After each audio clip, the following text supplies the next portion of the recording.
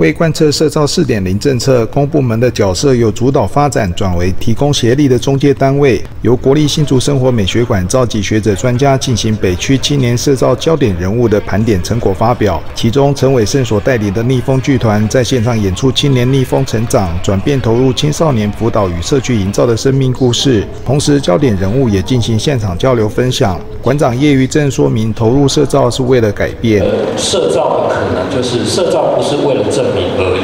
它是为了改变，就是你改变到什么。那有提到说，那焦点人物要怎么去把它创设出来？所以我们把九个县市，呃文化局哈教育处它提供名单，那我们请专家学者去做呃去了解有信效度。那另外也请很多我们的专家学者来做辅导。所以其实它这个信效度是有。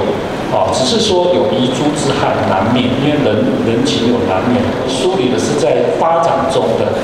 的那一个阶段，所以今天十位你们是很厉害，所以从一点零、二点零、三年一直不断的进阶哈。那这些梳理的过程当中，就像我们科长一直在提的，其实就是由下而上，他一直去把它做改变、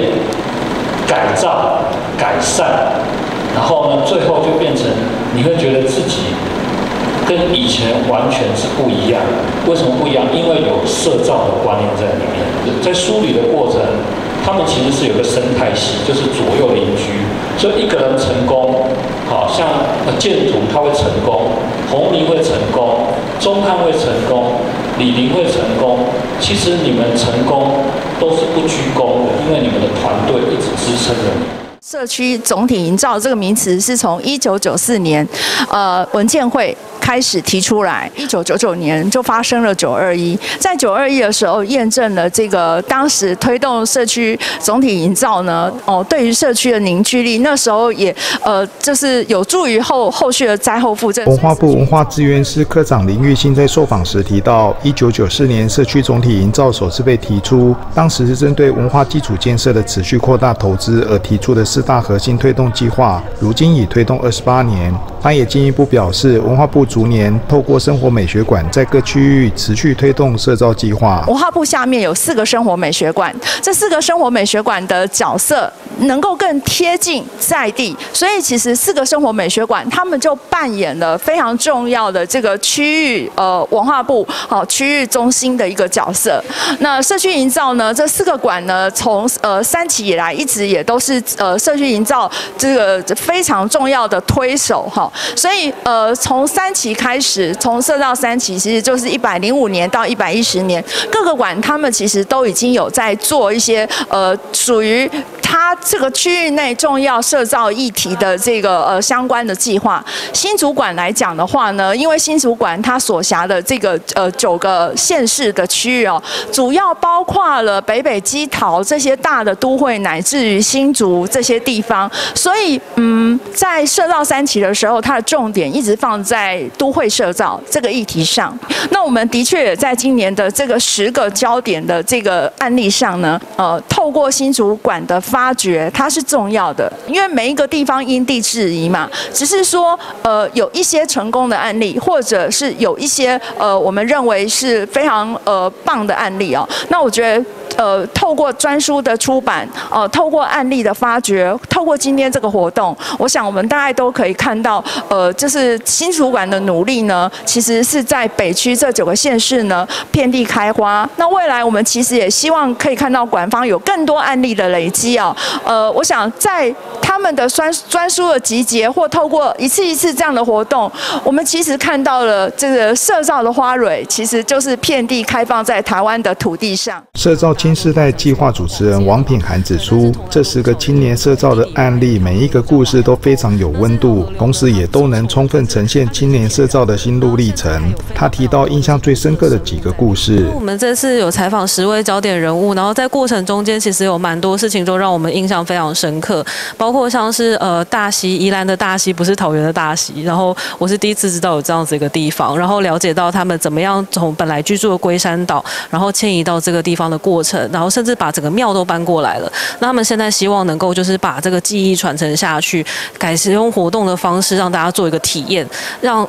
龟山岛的记忆就是在人的身上再度的出现，然后变成一个经验，所以他们可以慢慢传承下去。桃园就是呃青浦这个地方，它是一个非常新时代的，就是一个创意的发想，从赖的社群里面长出来的。对，那从赖的社群里面，然后慢慢认识志同道合的人，中间当然会经历过一些冲突，那最终找到了就是希望能够让就是呃弱势团体还有儿少，然后他们就是呃用 podcast 发出自己声音的这样子的一个场尝试。那其实亲眼看到就是这些呃。朋友们，他们的那个眼神是在发光的，那样的感觉是相当特别的。哎，我觉得柳萨萨也是一个让我非常印象深刻的就是采访对象哦，因为他本来是在法国，然后因为喜欢柬埔寨文化，所以开始学习东方语言，所以是误打误撞才了解到中文的。那后来就是也是因缘机会之下派到台湾，没想到就在台湾这个地方接触了非常非常多人，然后经历了太阳花运动，就他其实也是被我们太阳花运动所呃碰触到，然后呃。看到台湾就是这样一个生命力的一个可能，所以之后呃虽然派驻了日本，但是他想到他未来的方向的时候，他就选择回到台湾来，然后从事他一直非常喜欢的就是这个自然建筑的这个部分，然后把自然建筑以及我们的传统的就是这个呃功法，包括像汉人的以及原住民的，然后推介给整个世界。新竹社造青年林子晴正在推动的周易记古宅，从古迹修复施展一点零迈向老城区二点零版，团队还成立古。及学校重新串联古迹和老街的文化记忆与共学互动。目前许多的古迹或许都是政府来修复，那屋主呃在私有古迹的部分，其实不太有相关的案例可以让人去追寻。所以屋主他在一百年的时候哦取得了这个房子，那一百零二年的时候申请成古迹之后，他在思考说，哎，要怎么样来营运，要怎么样来修复？其实他没有相关的先例可以来依循，所以他其实做了非常多的功课。那他也希望说，呃，在这样子。的过程当中，我们不管是对于这个家族的记记录，对于这个城区的记录，那到现在我们从去年开始修复了，他他也希望说，呃，这样子的修复的过程的记录或者是相关的资讯，他有更多的公开。那在未来有更多的人呃有这样的需求的时候，可以来找他。对我们或许建设一个一个。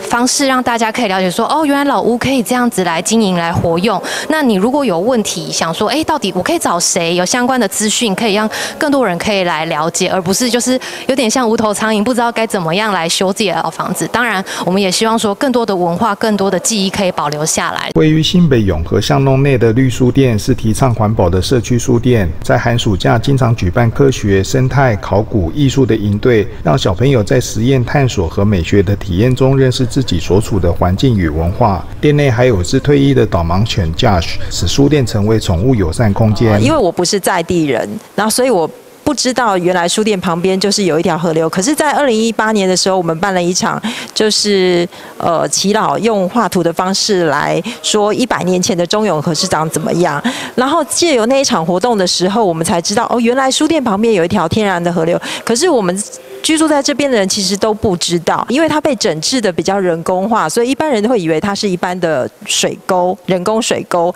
那我们后来就呃集结了地方的耆老，还有文史工作者，还有我们的书店的客人。那书店的客人其实对于在就是自然生态方面，还有文化历史的方面都非常有兴趣，所以我们就一起开始了针对瓦窑沟的这个河川的故事，然后希望能让把它发展成一本绘本，希望它能够透过绘本故事的方式，让呃孩子能从小认识这一条河流。书店有很多客人都是因为我们的 Josh 就是呃特意的导盲犬而来。其实 Josh 他是二零一四年呃我们书店二零一三一三年底开，可是二零一四年的时候。大许就从日本北海道漂洋过海来台湾，他是呃日本交流到台湾的导盲犬。那后来他呃在书店用阅读的方式陪伴了书店的客人，然后也用呃丑泥怪绘本阅读的方式来。让大家认识瓦窑沟，做这个过程中也去探访了很多，就是城市中的河流。